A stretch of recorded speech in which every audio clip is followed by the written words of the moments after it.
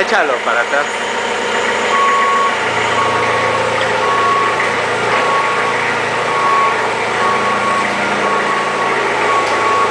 Súbese la mano.